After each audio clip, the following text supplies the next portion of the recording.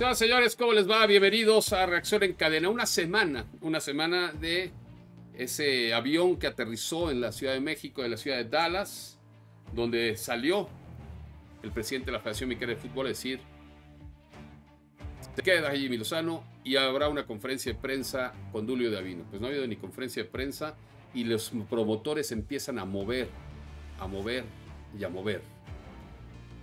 Y me parece que esto no es adecuado para la estabilidad del fútbol mexicano, sobre todo cuando va a venir una Copa América tan importante y un Mundial de Fútbol. Nadie ha explicado nada de lo que sucedió y de lo que pudo haber eh, sucedido en caso de haber ganado o haber perdido la, la Nations League. Y ya, pues obviamente sabemos perfectamente el desenlace. Y nadie ha explicado nada de esto. Julio Davino no ha salido. No ha salido Cisniega no ha salido ni mucho menos un video con Juan Carlos Rodríguez, no ha salido nada, nada, nada, nada. Como si no hubiera pasado nada, ¿no? Otra vez la, la costumbre de estas directivas en la Liga MX, en la Federación Mexicana de Fútbol, ahora eh, también en la Comisión de Selecciones Nacionales, que pues si hay algún problema, vamos a hacer como que no existió y seguir hacia adelante.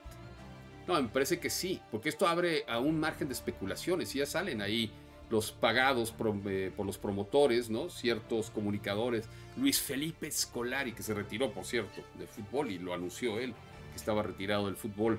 Y empiezan a decir nombres y nombres, y que si es este, y que si el otro, y que si Jimmy Lozano, y que si que esto, y que hay un plan B, que si hay un plan C, un plan Z. Me parece que tendrían que abrir, tendrían que abrir la comunicación de una manera real.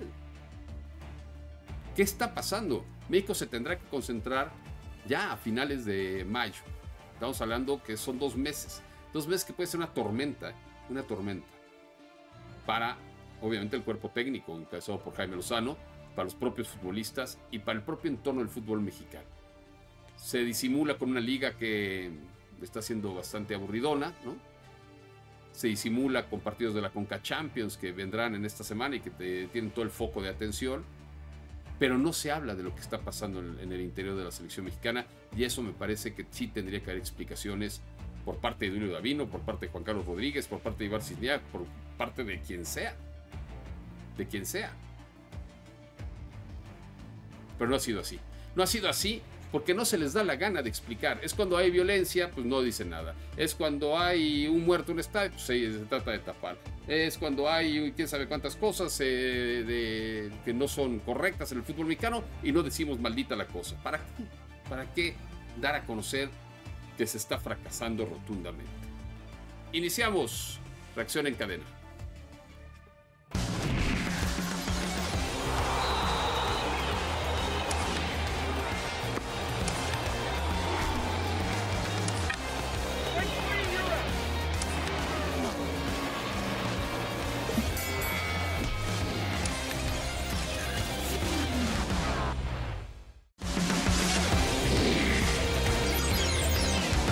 Imágenes, ¿cómo están? Las imágenes del fin de semana las tenemos para todos ustedes porque usted la pidió. Fíjense nada más, se suspendió un partido entre el Sestao Rivera y el Rayo de Majadahonda. Y sé de dónde coño son estos dos. Bueno, son de la. Pues de, España. De España. Macho. Y se suspendió por insultos racistas al portero del Rayo, ¿eh? Sí, porque, bueno, el, el, portero del Rayo va e incluso le jala la bufanda a uno de los aficionados que él acusa que le gritó, ¿no? Le gritó, entre otras cosas, mono y luego los, sus compañeros dicen ya no queremos jugar, ¿no? Y se fueron al vestuario y ya no jugaron los, del Rayo. Sí, no, terrible. ¿Qué no quieres hablar? Terrible, no, sí, terrible, pero al final del día eh, se toma una decisión importante, ¿no? O sea, que sus compañeros se solidaricen y que digan no queremos jugar más mientras se sigan dando estos gritos racistas. Pues tienen razón. Otra de las imágenes del fin de semana, la lesión terrible de Nayeli Rangel en Puebla en el partido Tigres, bueno, Puebla contra Tigres. Qué momento tan dramático, ¿eh? Dramático, dramático. Eh, desafortunadamente es una fractura, ¿no? La que tendrá será intervenida quirúrgicamente en los próximos días. Una imagen muy dramática. Buena la intervención del árbitro, ¿no? O sea, reacciona muy rápido ante, este, eh, ante esta jugada hay críticas en cuestión de, protocolo, ¿no? De, que no utilizaron un collarín, ¿no? tipo C, todo ese tipo de cosas, que no había carrito, pero bueno, eh, la verdad es que el, árbitro reacciona bien y también hay que decir que el cuerpo médico de Puebla ayuda, ¿no? Como siempre es en estos casos. Claro.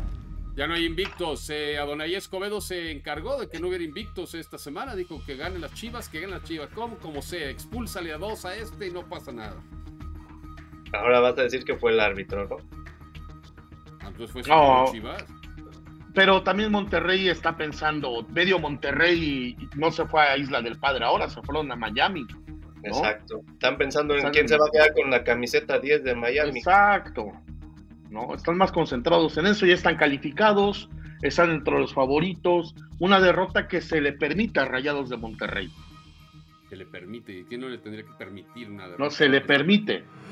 Y en este partido también sale una manta terrible, ¿eh? Terrible, contra el árbitro contra el árbitro, también apedrearon a, autobuses de aficionados de Guadalajara en el interior del estadio. No fueron golpes, pero sí amenazas, ¿no? De, un aficionado de Monterrey a, uno de Chivas. O sea, otra vez la afición de Rayados, la verdad es que eh, está con este comportamiento violento, ¿no? ¿Cómo, logras, ¿Cómo logras meter una manta, no? Siempre no quede revisiones a profundidad. Ahorita te digo Esta es una manta. Ahorita te digo cómo, es muy fácil. Muy bien. no, no, no, no, tiene ni cómo saber. Ve los videos de la gente. Ya lo vi, ya lo vi. La selección. ¿No? Se lo ponen así. Bueno, en fin, ahí está la última imagen del fin de semana donde Chicharito. Javier. Javier Hernández, que no juega cuando no le conviene que juegue a Televisa, cuando no le conviene que juegue a Telemundo, no va a los partidos, entonces se puso a hacer lo que sí sabe hacer, jugar videojuegos. Pero este es de Televisa ya rayados. Pero no lo pasó en abierta, ¿o sí? Fue en VIX, ¿no? Yo lo único que quiero decirles es que se cayó. No, jugó porque andaba malito de su pancita y ahora se cayó de la silla. Sigue dando nota sigue, se seguirá dando nota. O sea, ¿tú crees que eso es dar nota, el caerse de una silla?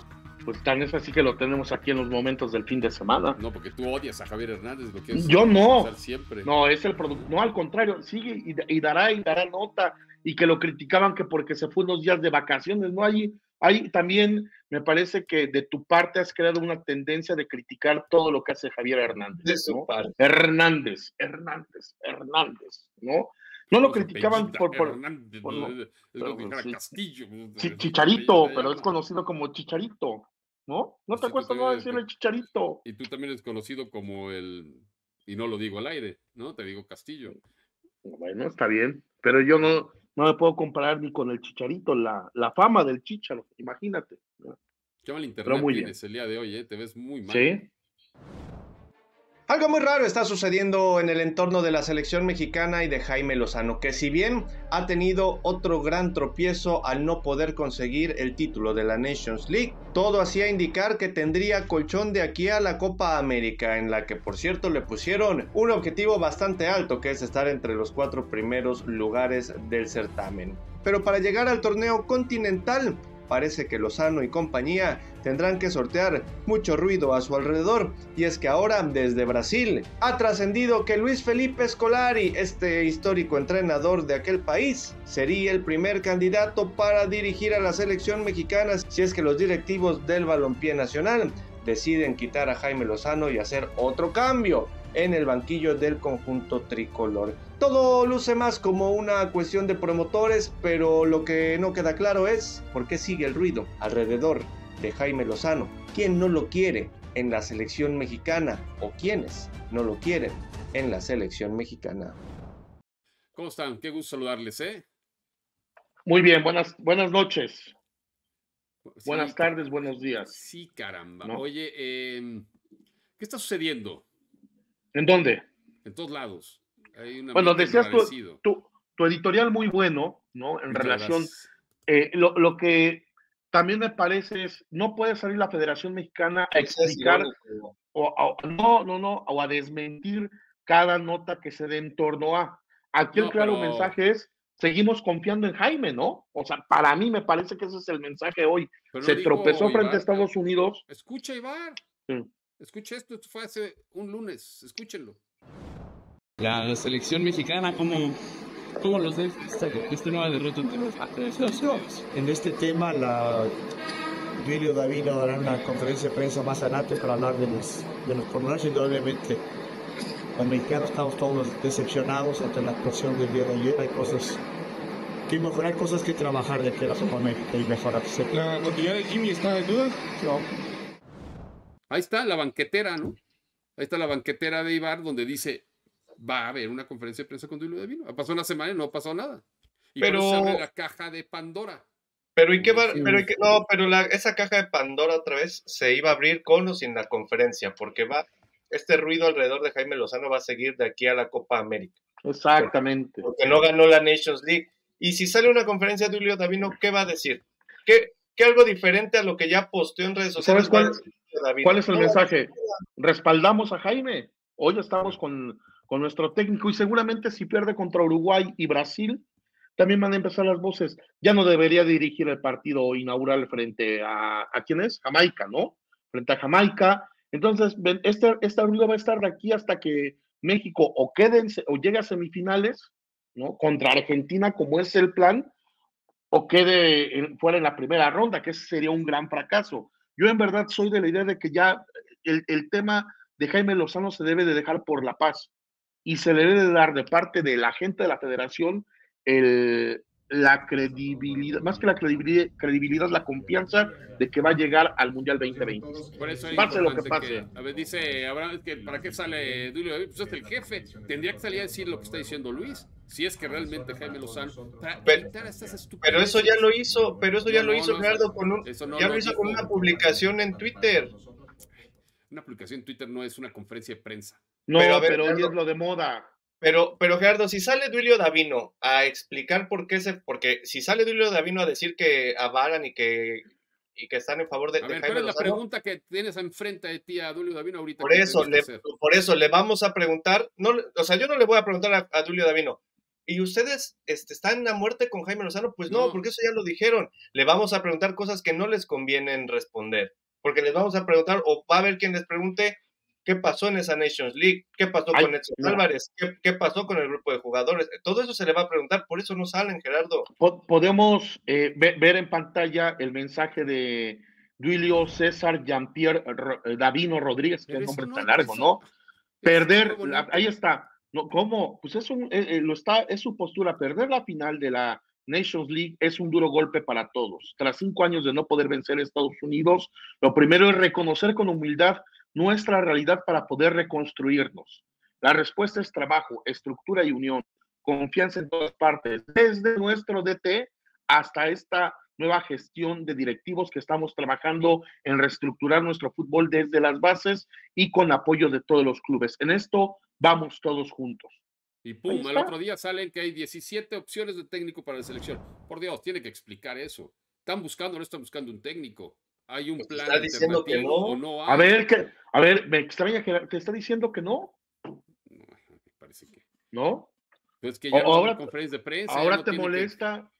Pero Yo- es yo que de- tú quieres escuchar de la voz de Duilio Davino, o sea, de- que, que diga, no estamos buscando otro técnico nacional. Seguramente sí, ha- habrá algún, alguno de los dueños tendrá ahí también a su propuesta, porque eso no tiene nada que ver con Jaime Lozano, es ¿Lo una están práctica buscando o hace. están buscando otro técnico? el- es, es, es que hoy el mensaje es que no. Depende del Ah. resultado de Copa América, que es lo que yo. A ver, cualquier, cualquier entrenado, cualquier directivo tiene un plan B, esa es una Claro. realidad.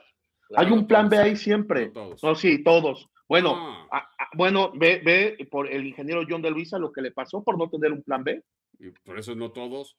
O por eso, pero es uno y ve, en el 99% de los casos está. Y ahora lo que tú dices, en comunicación se llama manejo de crisis. Como dice Abraham, no vas a exponer a Duilio Davino, sería un error, porque van a venir las preguntas de los mensajes de Edson Álvarez, de eh, el de Chucky Lozano al final de- del partido, que se hizo un mal planteamiento, que lo han dicho ellos. A mí me parece correcto. No, no es lo mejor, pero sí lo correcto. ¿Por qué? Porque que ahí tú, en una estructura, ¿eh? ¿quién? Tú. ¿Por qué? A ver, Entiendo salir que- alguien a hablar de esto. ¿a qué? ¿A qué? Así como salieron a hablar con el triunfo, tienen que hablar en la derrota. Pero, no, pero ahí ya, ya lo estás tomando de, de otra manera. ¿Qué, qué vas a explicar sí tiene el respaldo Jaime hasta Copa América, que espero yo que sea para más. Me gustaría que fuera el respaldo absoluto hasta el 2026 y hasta el 2030. Pero si déjalo fuera en Copa necesario. América ahorita. Ahorita déjalo en. Copa América. Hoy, ¿para qué sales? Como dijera Cuauhtémoc Blanco, para echarle más leña a los lobos, ¿no? O sea, una, una de las preguntas para Duilio sería, Pues, para mí, Los lobos comían. Sí. Es que así decía, así decía Cuauhtémoc Blanco, hoy gobernador. Está mal hecho. O sea, pues, más leña a los pero, lobos. pero Gerardo, tienes, te- sale Duilio Davino, y una de las preguntas para mí sería si coincide con Ricardo Lavolpe, uno de los hombres que ellos buscaron, ¿no? Como asesor. En que no, Jaime la Lozano- Volpe ya también publicó que nunca lo buscaron. no Espérame, espérame, está bien. Pero que la Volpe en todo momento dijo que Jimmy se equivocó en el planteamiento, que no supo plantear el, el juego. O sea, vas a volver a exponer a Lozano para que alguien diga lo que ya, lo que ya publicó en Twitter, porque no se va a salir del script. Ninguno se va a salir del guion ya. O sea, ¿realmente está el fútbol mexicano estable en este momento? A mí me parece que no. No, porque hay, para mí, hay alguien o, al- o algún grupo, no sé, habría que, que investigar eso, que no quiere a Jaime Lozano ahí. Para mí hay alguien o, o algunos que no quieren a Jaime Lozano así, ahí, y que también están por ahí quizá metiendo ruido, ¿no? Con, con esa cuestión de promotores, como bien tú lo decías. Para mí lo de Scolari también es totalmente de promotores. Lo, lo, lo leo igual. Pero están permitiendo mucho ruido alrededor de Jaime. Pues lo- te- eh, eh, así empecé y resulta No, que no, no, no, no. ¿No? Sí, ¿De qué porque ten- no, sí, sí lo eres, porque tiene que salir Duilio. ¿Para qué sales a aclarar algo? Que eso Un es saber rumor. comunicación, un rumor, no todos los rumores. Oye, ya buscaron cuántos eh, candidatos se llevan en una semana. ¿Para qué sales a desmentir eso? No hay necesidad. Imagínate, ya, no hay ya salió, necesidad. salió Aunque me Estrada, digas oficialista. Aguirre, salió Nacho Ambriz, o sea, tres en una semana. Jardín, Jardiné, Almada. O sea, imagínate a Duilio saliendo todo. Ahora, ahora saben que Almada Luis. no va. Tú con la capacidad reporteril que tienes, ¿hay o no hay otra opción en este momento para el fútbol mexicano? O sea, ¿ha- Pues sí ¿han la hay, buscado algún o sea, entrenador? No, no es que lo hayan contactado desde ya. O sea, ahora desde ya no. ¿Quiénes o sea, son las de- opciones? A ver, se, se nos olvidaba Muriño, ¿no? También, ¿no? José Muriño. Que si recuerdan, el alto comisionado tiene una buena relación con Muriño y su gente, sus agentes, porque lo contrató para que hiciera un mundial en. TUDN. Murillo- a ver, Mourinho, eh, como decía Hugo Sánchez, se larga a dirigir a Portugal. ¿Por qué? Porque sí, porque no puede estar ahí ofrecido. Ah, porque viene Copa América, entonces me gustaría. Porque viene Copa del Mundo, me gustaría. Pues, ¿Qué se siente ese señor? Ganador de Champions. Sí, puede ser ganador de lo que sea, que no sea ofrecido. ¿Por qué no? A ver, ¿qué? qué- Parece que qué- trabaja en Sullivan. No, no, no, no, no. No, to- todos nos ofrecemos, Gerardo, en algún Sí. momento. O sea, Pero no públicamente así. A ¿Por ver, qué no? Porque no, porque está mal. Si el fu- a ver, No, yo- a ver, tú has dicho que dirigirías a la. Mira, América. Tú has dicho que dirigirías a la América. No, ¿Qué no, qué? no lo hemos, no lo hemos dicho lo que decías tú. No, lo es, no es que lo hayamos empezado a decir desde hace dos semanas. Siempre el gran objetivo del comisionado, porque es su amigo, lo ve como su gurú, es Javier Aguirre. ¿No? Es Javier Aguirre. Pero Y aunque tú te que no, enojes, ya dijo que no. Ya. ¿Qué, qué había dicho? A ver, ¿qué había dicho Javier Aguirre? No, mano, a ver, no, mano, no vuelva a dirigir en el fútbol mexicano, mano, solo como directivo, mano. ¿Y lo convenció Monterrey? ¿O no, mano? ¿Ya te acordaste? No sé, no sé, man. No. ¿Tú cómo te tomas el whisky, mano? Pues con No, dos hielitos. con ¿no? hielitos, mano. ¿O no? Por eso Yo te no digo, todo whisky, puede yo no pasar. tomo alcohol. ¿No? Ni yo. Así tú sí tomas whisky. no te hagas güey. Ah, yo sí tomo whisky. Tú Es no tomas alcohol. nada. No, yo no Sí. tomo nada. No, yo sí, un whisky en las rocas. Ni sé lo que, ni sé a lo que huele el alcohol. Más Qué bueno. cuando me he cortado. ¿no? Sí, nada más. O con el algodoncito. E- ese es el tema. Pero el, el- gran mensaje es hoy el respaldo. Tenemos que, me extrae que tengas mucha, eh, muchos años en esto. El leer entre líneas en el periodismo. Hay un respaldo para Jaime Lozano. Ah, que se puede estar cocinando otra cosa. No tenemos pruebas, pero tampoco podemos este, negarlo. Pero de que hoy, desde la alta cúpula, están respaldando a Jaime con este silencio, no es el que calle otorga, ¿no? Porque va, pues, el que calle otorga, no, pues son rumores periodísticos que ahí Yo están, sé. ¿no? Y yo tengo Sí. información que no hay alegría en el interior del grupo de varios dueños y que han pe- pedido un cambio. Y eso, y eso, Gerardo, Porque se les va el Mundial de Fútbol, ¿eh? No, pero el mundial ya lo tienen. No, O sea, ¿de qué me hablas? Estoy hablando del... eh, no, puta, ¿Cómo se nota que eres, tan- eres oficialista totalmente? No es oficialista, es nada más ponerle, o sea, si hay, como siempre en una No, pues democracia, el Mundial sí lo tiene No. también. eh, y, pues, a ver si nos lo quitan el Estadio Azteca, cabrón. A ver Ah, si no... ah, pero, pero- pero discúlpame, eso no es culpa de Jaime Lozano, eso es otra no, cosa. no, no, pero es que o también le pero ponemos si la responsabilidad de. Lozano, ¿no? ¿Y ¿Para qué quieres ir Eso a un mundial otra para cosa. que, te- eh, para que pase lo que Qatar? Que si se van las cosas como están, Luis, paredes. como están las cosas como están, pe- aunque sea el Estadio Azteca, ¿eh? lleno los tres partidos con tres rivales de más o menos de categoría, como está jugando México hoy, no pasa la siguiente ronda. ¿eh? Todo No le puede puedo ganar a. Honduras. A Honduras.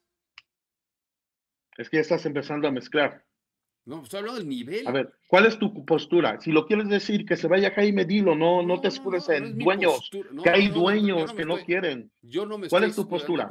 A ver, para ti es correcto que Jaime Lozano se quede hasta que Sí, yo, Sí. yo entiendo que en un es el fútbol técnico en el que para México. eh, en el que somos cortoplacistas No y que no hay un lamentablemente No hay un técnico así se trabaja es si realmente se quiere cambiar el fútbol mexicano a Jaime y como lo y ya te y te enoja que Hugo Sánchez y yo el gran ídolo que tengamos una visión ahí eh, muy similar pongamos sobre la mesa que a Jaime lo tienen que firmar por dos ciclos en verdad No, no, tampoco. pase lo, pase lo que pase en el 2026 apostar a eso tampoco es así, tampoco. eh, pues, darle eh, herramientas, darle un auxiliar técnico. A ver, tú a quién vas a decir, es que yo no soy promotor.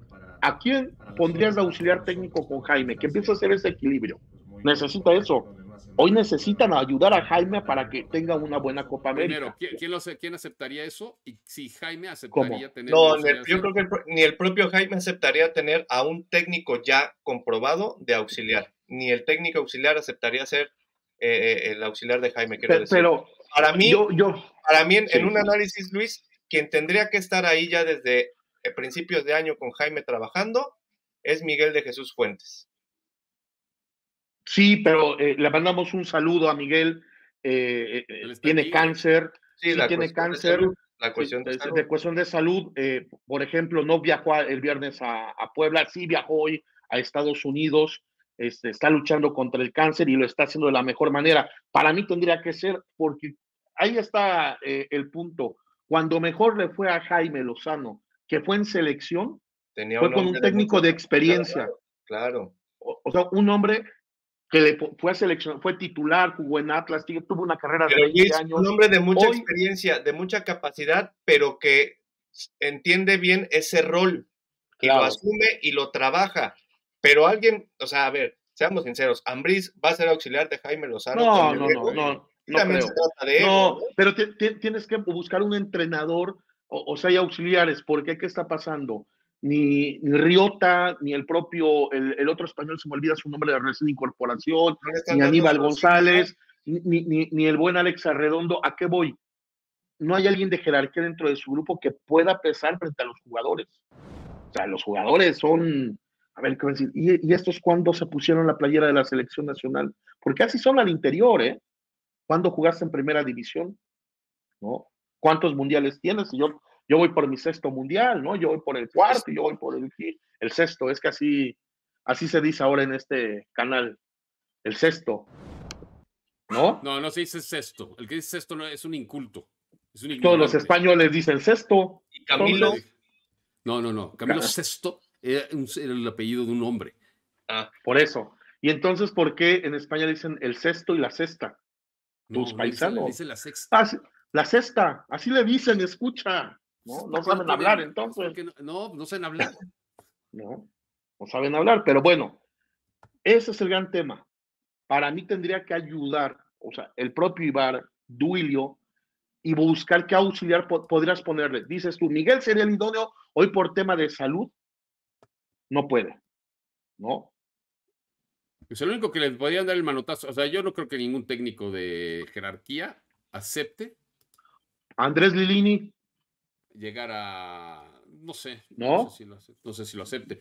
El tema es, la realidad es que, por ejemplo, el único que puede decir eso es, señores, aquí está el nuevo auxiliar técnico, porque lo acabamos de decir, porque nosotros somos los que decimos todo, es André Jardín. pero Andrés Jardín no, es lo que dice Abraham. ¿Tú crees que va a querer ser auxiliar cuando Le sabe gané, que la- le gané, le gané la, los Olímpicos. la semifinal, le gané la semifinal? Por eso, O sea, no es nada fácil, sí. No es nada fácil, pero de que necesita que- mayores herramientas es una realidad, ¿o no? Pues sí, no sé, a mí me parece que tienen que explicar las cosas y tendrían que... ¿Qué explicar, bastante- Gerardo? ¿Qué tienen que explicar? A ver, se fracasó, se fracasó, punto. ¿Qué Ah, quieres que pues, salgan? nada, ¿no? No, a ver, es la Copa América es ahí el punto No de inflexión para el proyecto. A ver, ¿qué pasa si con Uruguay mal. pierden 3-0 y con Brasil 4-0?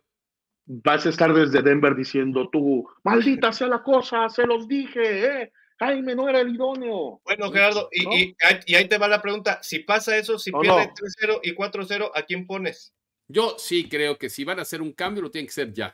¿A quién pones? Por eso. No soy promotor.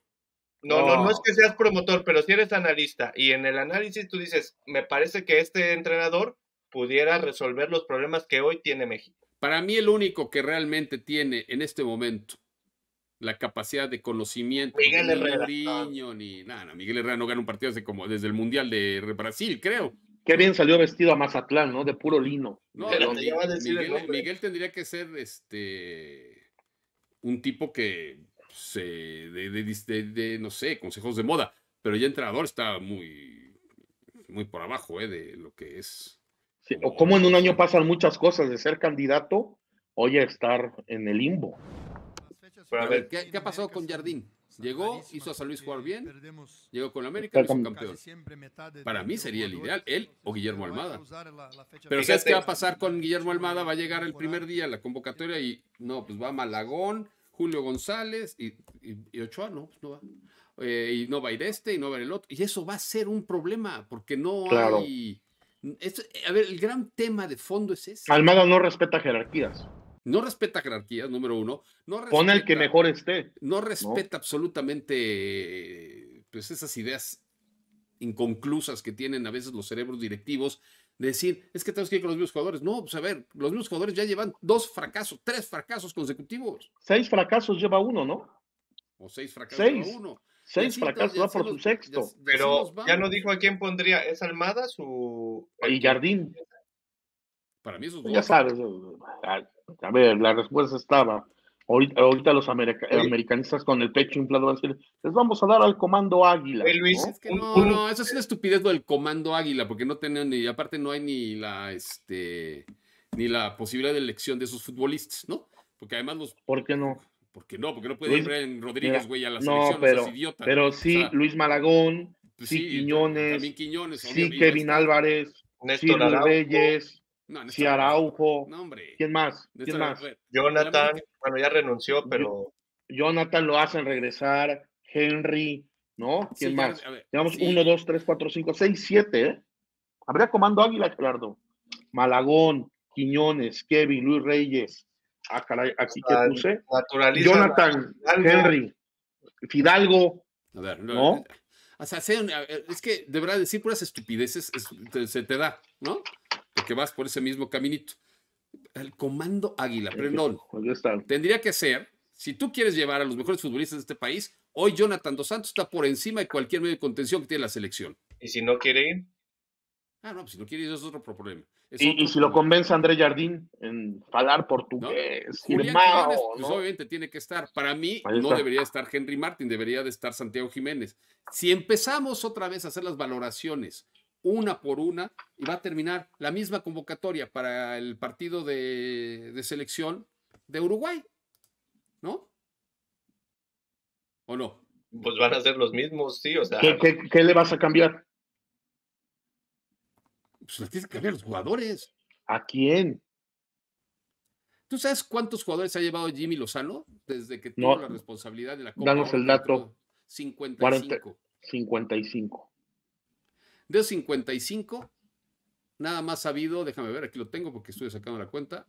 El Pocho Guzmán, que fue convocado y nunca jugó. Ajá. Guillermo El Tiva Sepúlveda. Julio González. Ajá. Juan Domínguez, en esa convocatoria extraña, ¿te acuerdas ahí? Y Ah, Juan Pablo. Y Montaño, que fue para esos partidos en Mazatlán, ¿no? Y en No, en- y contra Colombia, Exacto. en Los Ángeles. Esos son los únicos que no han jugado nada. Obviamente en ese México contra eh, Guillermo Ochoa, en ese México contra Honduras que sale lesionado, que nada más jugó 22 minutos, lleva hasta el momento prácticamente todos los partidos de la era Jimmy Lozano, menos ese amistoso, ¿no? Y obviamente el Ujú. regreso de Honduras. ¿Estamos de acuerdo?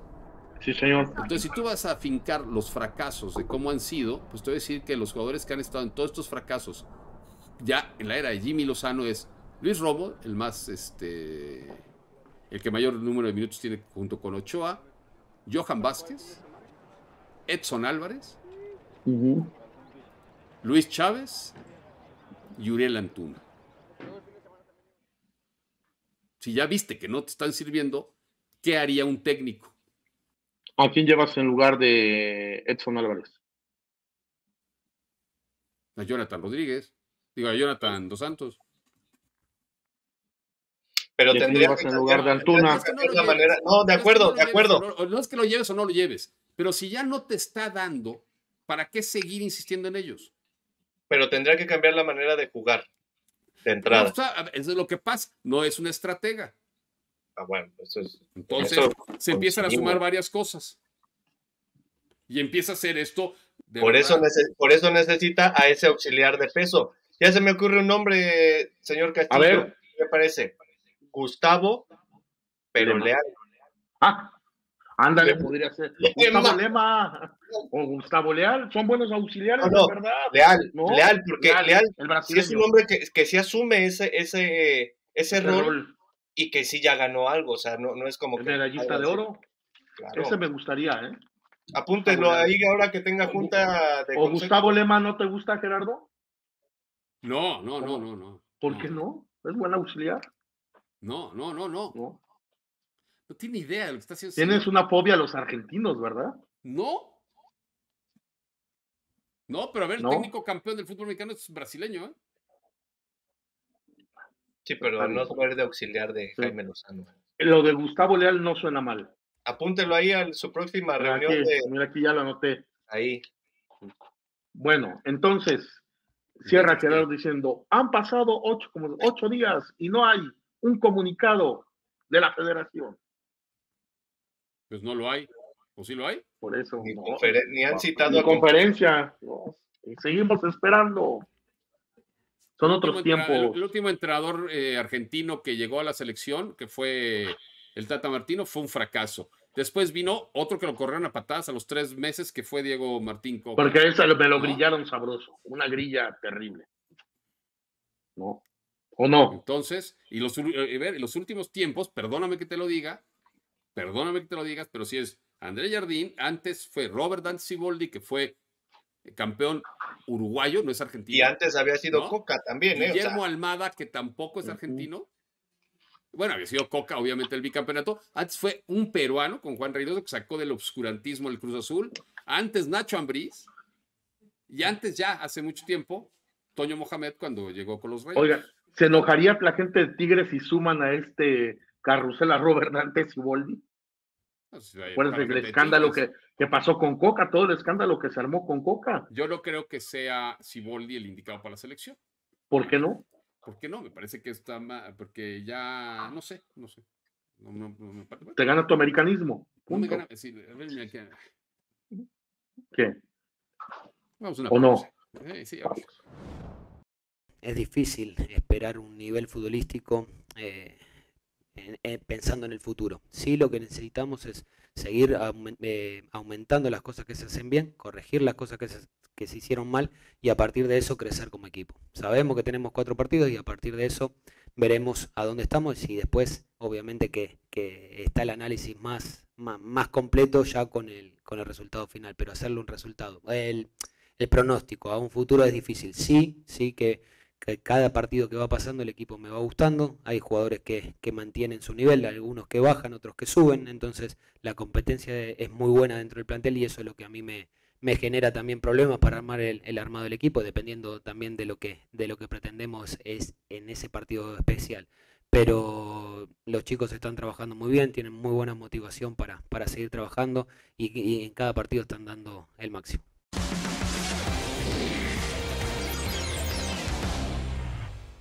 Estamos encarando todos os partidos né, com, com máxima seriedade, seja de Liga, seja de Conca Champions, pero é inegável quando, quando enfrentas partidos eliminatórios onde uma derrota pode te, te custar um, um, um torneio, eh, bem, tu, tu, tu encontras tu máxima, tu máxima versão a nível de atenção, de concentração, e, e assim estamos né, para este partido de amanhã, sabendo a importância que tem. Eh, pero sin descuidar, jugamos, estamos jugando la liga con, con la misma atención, intentando siempre, no, ahí sí, no cargar demasiado ningún jugador, pero esto va a valer de aquí a frente en prácticamente todos los partidos. Eh, pero bien, estos partidos de, de, de, de eliminatorias son, son, partidos donde un mejor te cuesta, te cuesta muy caro.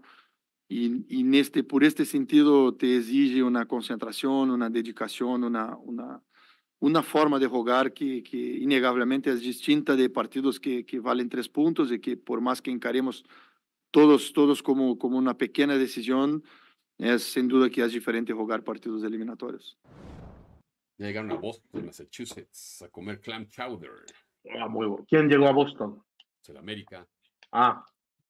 Va a jugar la Pero el, pero el foco está en Miami, ¿no? Monterrey es visitando el al Inter. miércoles, no, mañana también. Ah, ¿no? bueno, también mañana.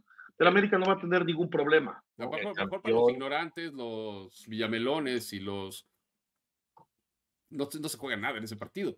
El Inter de Miami no va a ir al Mundial de Clubes si no está Messi, porque si está lesionado Leo, pues entonces no le van a hacer ningún tipo de, de ayuda arbitral para que pueda pasar. Y el Monterrey está calificado, la- el foco está en Columbus, el foco está en, en Foxboro. Mañana los dos, ¿no? Tigres en. Columbus y América en. Esos sí son los obligados. A Monterrey le vale 3 kilos de pepino el Mundial de, el mundial de Clubes. Porque ya No, ¿cómo lugar. crees? Ya tiene su No. Ah, bueno, sí, pero de que le, Pero al le Ortiz urge un le vale título, la- ¿Y la- qué le un título. ¿Qué pasa si gana el Monterrey la Coca Champions? ¿Va el finalista? Seguramente invitarán al, al subcampeón. No, no es de invitar, es de calificar. No. Es buena pregunta. ¿Con quién lo checamos? ¿Con Montagliani? No, necesitas hablar a la gente de prensa de la CONCACAF, No, no pasa nada. Muy bien. No, Primero que se dé, ¿no? Que pasa semifinales rayados. Va a Ahí pasar. sería contra Tigres. No, contra Columbus también puede ser. Columbus es el campeón de la Major League Soccer. Bueno, tú nos sigues vendiendo, ya ves lo que pasó en León LAFC. Fuimos afanosamente a cubrir esa final porque Carlos Bell iba a levantar un título y le dieron un baile al LAFC. ¿No? Y se nos acabó la historia y terminaste celebrando con los Martínez, ¿no? No te quedó otra. ¿O no? Íbamos a Yo- festejar el título a del AFC. No, yo festejé con la gente del LAFC. ¿Qué el festejaste? campeonato. Pues eh, siempre hay algún motivo, siempre está ahí Jaime Camil, o sea, siempre hay para celebrar. O sea, Ah, eso sí. es mejor ir a ver un No. partido con Jaime Camil que contigo, con Derbez, o sea, con, esa, eh, con ese corner, spa- eh, Latin corner que tiene el este del LAFC. ¿No? Muy bien. O sea, ¿tú crees que Abraham, si tuviera en Canadá un, este, un equipo mexicano o un equipo así, haría su Latin corner también? O sea, Claro, también. cinco pinches pelados que están ahí en su pueblo, ¿no? No Pero sé sí hay si muchos Camil, Sí, ¿no? sí hay muchos mexicanos ahí en Hamilton, ¿no? En Hamilton sí hay mexicanos. Pero yo no ¿Dónde vivo en? Hamilton. ¿Dónde yo no vivo en Hamilton. ¿Dónde vives? Eh, hay muchos mexicanos por aquí en Leamington, se llama el, el pueblo. Ayer vi unas imágenes en tu Instagram, había muchos niños mexicanos, ¿no? Ah, bueno, no eran mexicanos todos, es que es una iglesia, y como fue Pascua, una iglesia de la Virgen de Guadalupe y son católicos, pues, en español. Sí, sí, sí, sí. Más bien una iglesia católica, porque la Virgen de Guadalupe no creo que tenga iglesias. Ah, bueno, una iglesia católica es de la Señora de Guadalupe y es en español. las misas son en español. Ah, muy bien. ¿Viste a misa? Eso es bueno. Sí, ayer, pues te dije que andaba en lo de Pascua, pues era Ah, parte pues. de eso es la misa. El de Pascua es buscarse los huevos, ¿no? Es- No, es la resurrección, ¿no? También después sí. Bueno, muy bien. Ah, yo- Yo- No nada más es acordarse, si te acuerdas en algún momento de Dios, así de, cuando, ay Dios, ayúdame, ¿no? No, pues no. Son muchas cosas. A mí ya me regañaron por lo que dije el viernes. Sí. No estuviste, ¿verdad? ¿Qué, qué dije? No, no estuve. Ya no lo repitamos, doctor. No. Fue el jueves y sí estuve. Este, pero, ah, sí, sí estuviste. Hay dos temas que estuve este fin de semana analizando y estudiando. Hay dos vidas, la de el Jesús, el líder, y Jesús bíblico. Y sí hay cosas que se han comprobado desde la antropología, la existencia de Joshua ben Yosef, el nombre original de Jesucristo. Ah, mira, Mira qué culto. esa no te la sabías, ¿eh? Y también sabes hacer este, también Ah, sí, dije lo de María Magdalena, ya no lo vuelvo a repetir, se enojaron en mi casa. La, este, ¿y qué más sabes hacer? ¿Sabes hacer? El viernes está en una receta. ¿Qué va a haber el viernes? Ya verás. Pero necesitas invitarnos un día para Café de olla. Café de, café de olla. Bueno, de olla. Pausa. regresamos. tengo que educar a Jera que esos, esas reacciones nos perjudican y lleva que sea una expulsión que, quizás tiene que calmar su temperamento. Es que esto es el fútbol. Se ha perdido, se ha ganado, se ha empatado y hay que pensar en la próxima. Se lo dije recién. eh, que a todo el mundo le, duela esta derrota porque a nadie le gusta perder, pero ya mañana tenemos que pensar en, en lo que va a ser el día miércoles en la casa de, del Inter de Miami y nosotros vamos a salir de la misma manera. Que es más lindo enfrentar a- al Inter de Miami con la presencia o no del mejor jugador del mundo.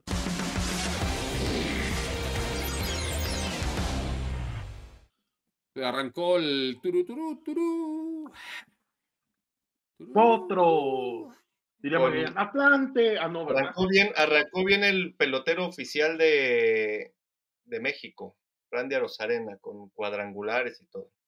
Muy bien, ¿no? Oye, y quien ya nos dirá Poncho, el hermano de Mónica, Poncho Galindo, que este, lo que...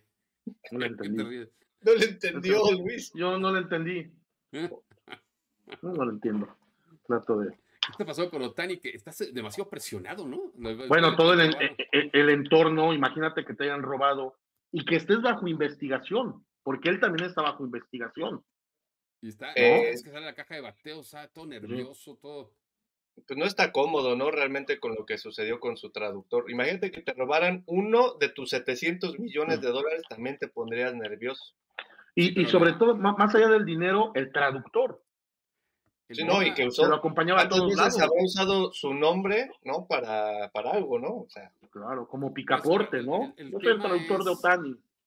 Ah, no, estoy de- coincido. O sea, A ver, tú lo viste, es- Gerardo, el día de la presentación se notaba mucha química, ¿no? Entre el aunque círculos cercanos decían que sí habla inglés eh, Otani, ¿no? Pero que prefería tener a, traer a su mejor amigo siempre.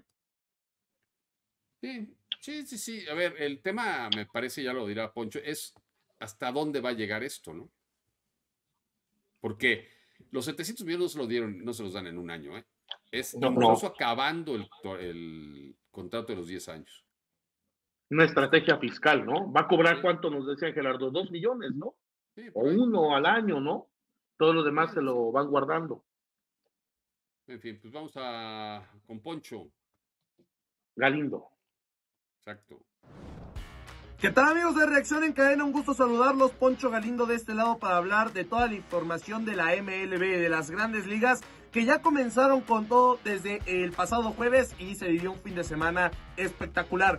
Cuatro equipos son los que destacan en este inicio de temporada, dos de la Liga Americana y dos de la Liga Nacional. Y vamos a empezar con el más importante, los Yankees de Nueva York, el equipo de el que todo aficionado del béisbol está hablando.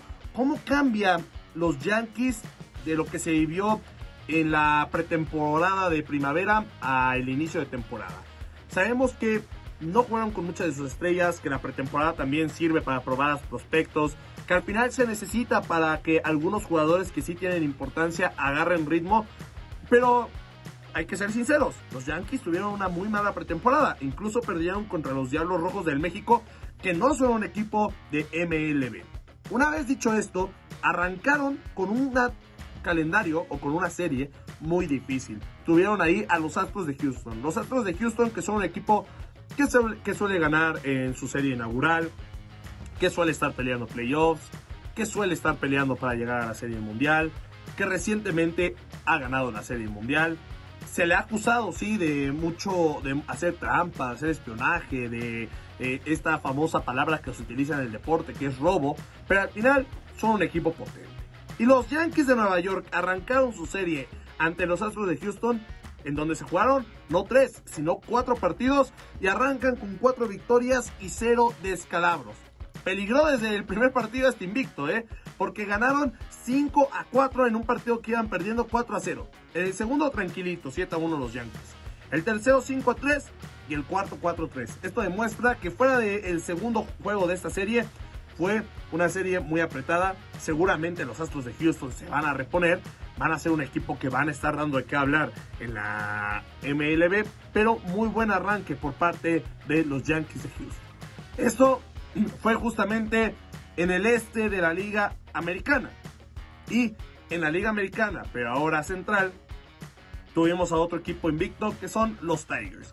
Los Tigers que tuvieron tres juegos ante los White Sox y todos los ganaron por una carrera. El primero 1 a 0, el segundo 7 a 6 y el tercero 3 a 2. Cerradísimos los partidos de los Tigers. Yo no sé si vayan a aguantar así el ritmo toda la temporada de estar ganando juegos solamente por una carrera. Tampoco creo que los White Sox vayan a ser ese equipo que arrancó 0-3. O sea, veamos la diferencia justamente de todos los juegos, de cómo se perdieron. Y hay que esperar, hay que tenerle calma tanto a los Tigers que arrancaron invictos como a los White Sox que arrancan sin ninguna victoria. Ahora nos vamos a la Liga Nacional, donde los dos equipos invictos fueron parte del el centro, de la Liga Nacional Centro. Uno de ellos son los Pirates. ¿Quién iba a decir que los Pirates podían ganarle cuatro juegos a los Marlins y de qué manera? El primero 6-5, Hubo juegos muy cerrados en este inicio de temporada. El segundo 7-2, el tercero 9-3, ahí ya se separaron un poco, pero el cuarto 9-7. Y después se ve que no van a tener eh, ningún problema para seguir una buena tónica en la temporada, ahora que la siguiente serie es los Nationals y no arrancaron mal. Pero 4 a 0 se pusieron en este fin de semana venciendo a los Marlins. También no fue una prueba de fuego, pero me gustó lo que mostró el equipo de los Pirates. Y hay que hablar también de los Brewers, de los cerveceros, porque si bien arrancan también de una muy buena manera, hay que poner la otra parte de la moneda de Nueva York. Enfrentaron a los Mets y los Mets no lucieron como un equipo potente. 3-1 el viernes, 7-6 el sábado, 4-1 el domingo para que los Brewers arranquen de muy buena manera. Mañana arrancan otra serie ante los Twins. Seguramente van a poder mantener el invicto. Así los cuatro equipos que arrancaron invictos en estas grandes ligas. También algunas menciones honoríficas deberíamos de tener por ahí, como los D-Backs, que son un equipo que acaba de enfrentar una serie mundial y arrancaron con tres victorias y solamente una derrota. Ahorita los Dodgers de momento están con cuatro victorias y dos derrotas. Tal vez hay que darle chance a que agarre más ritmo el equipo de Los Ángeles. Y uno de los equipos que también me gustó es en la justamente en la nacional los lo, en la americana los Guardians que arrancaron con tres victorias y solamente una derrota. Así están las cosas en la MLB, amigos de Reacción en Cadena. Regreso con ustedes.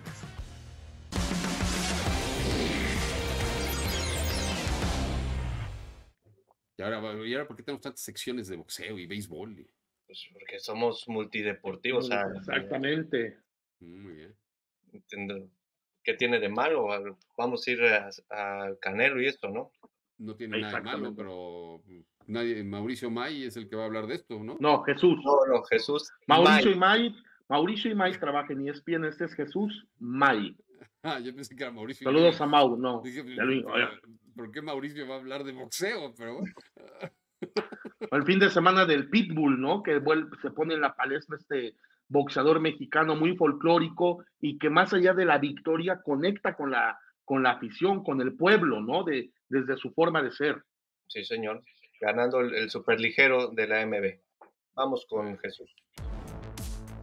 Hola, hola, ¿cómo están amigos de Reacción en Cadena? Jesús May de este lado saludándolos con muchísimo gusto para platicarles acerca de las emociones que vivimos en el boxeo este fin de semana. Fue un fin de semana sumamente importante para varios boxeadores mexicanos, pero hay que enfocarnos en el momento histórico porque Isaac el Pitbull Cruz se consagró campeón super ligero de la Asociación Mundial de Boxeo. Sí, el nuevo monarca de la AMB en las 140 libras es mexicano y es Isaac el Pitbull Cruz que tuvo una demostración sumamente increíble en contra de Rolando Rolly Romero. Lo dominó de principio a fin, lo termina eh, noqueando en el octavo asalto. La victoria es por nocaut técnico en el octavo round, pero fue una pelea que dominó de principio a fin el Pitbull mexicano incluso desde el primer asalto a segundos de que comenzó este combate, el Pitbull estuvo cerca de llevarse la victoria, sin embargo también hay que reconocer que la quijada y también el aguante del peleador norteamericano pues termina por sorprender a, propios y extraños, le aguantó de más al Pitbull Cruz, pero a final de cuentas su destino estaba marcado, el dominio y la presión que estaba ejerciendo el oriundo de la Ciudad de México sobre eh, Romero era constante. Y en el octavo round fue cuando por fin se finiquitó esta obra e Isaac el Pitbull Cruz se consagra campeón mexicano de la AMB, un resultado que estaba siendo sumamente favorable para el Pitbull Cruz, eh, por ahí la polémica, uno de los jueces eh, estaba viendo como perdedor al boxeador mexicano increíblemente. Antes de que llegara este knockout, pero a final de cuentas el, el, pugilista mexicano decidió no dejar la expectativa para los referees, termina noqueando y termina consagrándose como nuevo monarca de la división. Una pelea que fue sumamente importante para él, no solamente porque estaba disputando este campeonato, sino porque además tenía la misión de callarle la boca a, a Rolly Romero. Hay que recordar que a lo largo de los días previos a este combate se había burlado increíblemente Romero del boxeador mexicano, incluso se había mandado a hacer un collar con la cara del peleador mexicano y en el cuerpo de un chihuahua, porque decía Rolly Romero que el boxeador mexicano no era un pitbull, no era un monstruo como lo pintaban, sino que más bien era un chihuahuita, algo lamentable, pero muy sereno, siempre muy tranquilo. El Pitbull Cruz jamás se enganchó en ningún momento, jamás tuvo una falta de respeto hacia su rival. Él mencionó que él iba a hablar arriba del ring y lo terminó haciendo porque terminó noqueando completamente y terminó pues superando ampliamente a su rival. Después de esta exitosa presentación, después de este momento histórico que vivió Isaac el Pitbull Cruz, dio algunas declaraciones, así que vamos a escuchar qué fue lo que dijo el campeón mexicano. Trabajé para esto, para, no para dar una pelea, sino para venir a masacrar y hacer que se comiera toda la basura que nos estaba, que nos estaba haciendo. Y lo más importante es que yo hablé arriba del ring y ante toda esta bonita gente por ello y para ustedes, toda la gente que vino al T-Mobile, les agradezco enormemente el apoyo. A mi esposa, a mis hijos que los amo mucho. Y va a haber campeón mexicano en 140 libras. Hay las declaraciones del mexicano. Hay que recordar que el Pitbull apenas tiene 25 años de edad, sigue siendo todavía muy joven, pero ya es campeón del mundo. Él se dio a conocer en pandemia en el 2021 cuando se enfrenta a Gervonta Davis, este boxeador que es el pupilo de Floyd Money Mayweather, que a pesar de que el Pitbull tuvo eh, esta pelea con pocos días de anticipación y a pesar de que pierde este enfrentamiento en contra de Davis, pues demostró una gran valentía, le conectó impactos sumamente poderosos a Davis y además supo eludir a la perfección el gran contragolpe del boxeador norteamericano, ganando pues demasiados fanáticos por esa pelea y además dejando encantado a una figura histórica como lo es Mike Tyson, quien no tenía más que palabras de elogio para el boxeador mexicano, incluso es el, el mismo Tyson quien termina apodando al Pitbull Cruz como el mini Mike Tyson, porque vaya que el boxeador mexicano pues representa esta esencia mexicana del boxeo, un boxeador que siempre va hacia el frente, que es aguerrido, que constantemente busca acabar con su rival, que demuestra grandes combinaciones de boxeo,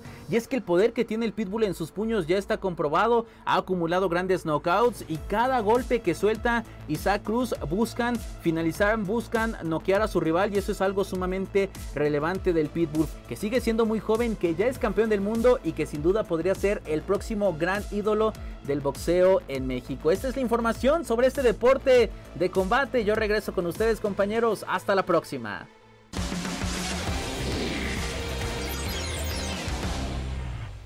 Bueno, pues vámonos. Vámonos. ¿Mañana es el partido de la América o pasó mañana? Mañana, ¿no? Mañana juega Columbus Crew against Tigers y New England Revolution against America. O sea, un buen duelo ese de, de, las, de los Eagles, ¿no? Allá en, en USA. Bueno, ah, voy. Los Eagles. Órale. Nos vemos. Adiós.